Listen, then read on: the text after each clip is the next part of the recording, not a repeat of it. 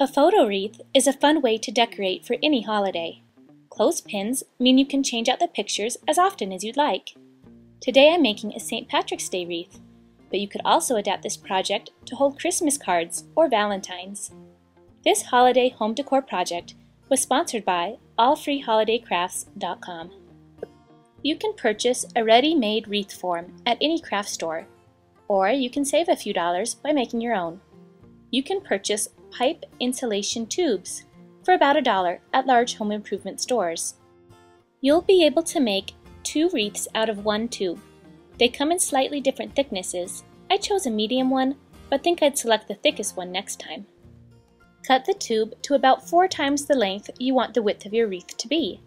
I cut mine at around 45 inches.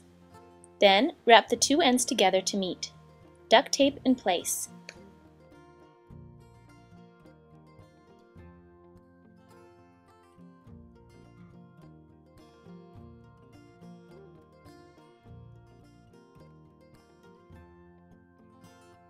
Since this wreath will be for St. Patrick's Day, I'm covering it with green fabric.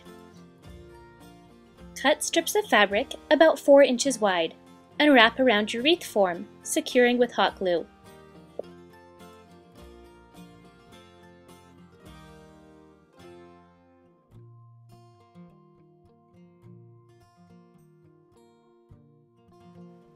I'm also adding some wrapped green tulle to give my wreath some fullness.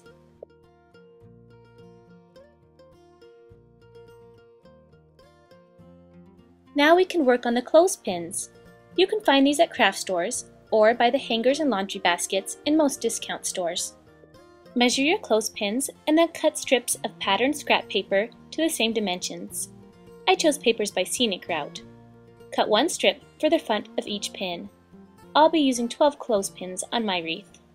You can leave your pins bare or you can paint them. I chose to paint mine blue you don't really need to worry about painting the front or back of the pins as these will be covered. But make sure you paint the sides and interior well. Don't even bother trying to keep your hands clean. Just accept that you're going to get messy and it will go a lot faster. Allow the clothespins to dry. Add the paper strips to the top of the clothespins using double-sided adhesive. Then glue the clothespins to the wreath form. I found it easiest to arrange them in a clock face pattern, with the first pins being glued at 12, 3, 6, and 9 o'clock. This will help you space the pins evenly.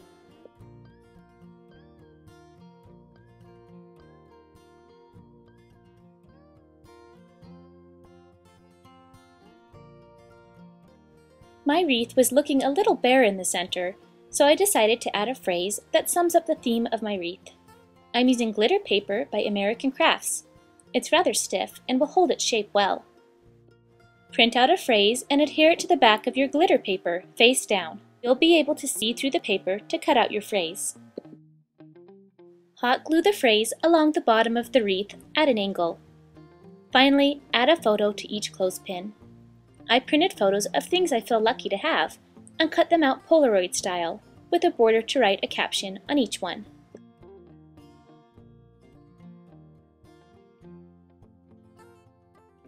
To hang your wreath, tie a segment of tulle onto the wreath, then tie a bow to that loop with another piece of tulle. This Lucky Me photo wreath tutorial was sponsored by allfreeholidaycrafts.com. For hundreds more craft tutorials, please visit my website, madebymarzipan.com.